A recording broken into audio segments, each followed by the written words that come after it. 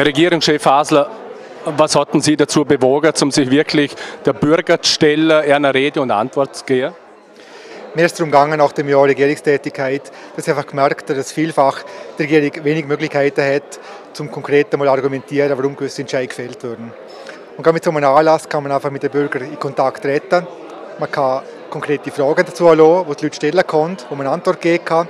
Man kann Begründungen geben, man kann miteinander diskutieren.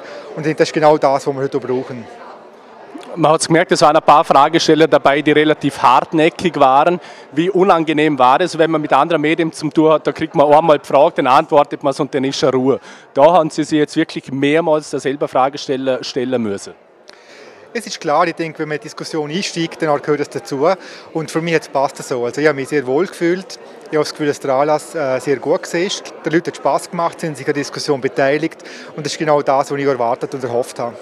Wir haben jetzt eine kurze Umfrage gemacht unter den Leuten und die haben positiv erwähnt, dass es keine Politikerantworten waren, sondern wirklich vom Mensch Adrian Hase, dass man Klartext gesprochen hat und nicht so schwammig umeinander, war das auch ein Ziel von dem Anlass?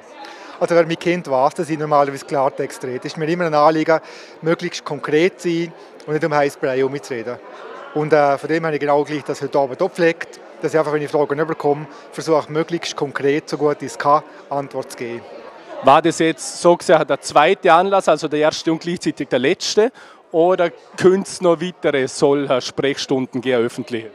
Also wir würden sehr nochmal drüber gehen jetzt und nochmal ein Resümee ziehen. Aber ich persönlich bin jetzt sehr positiv gestimmt, um so Anlass wieder einmal zu machen. Für mich ist klar gewesen, es sind wirklich schöne Leute, kosten rund 70 Personen da gewesen. Sie haben sich aktiv an der Diskussion beteiligt. Und von dem her, wenn jetzt Rückmeldung überkommt, dass es geschätzt worden ist, dann würden wir es sicher nochmal machen. Herr Regierungschef, vielen Dank. Besten Dank.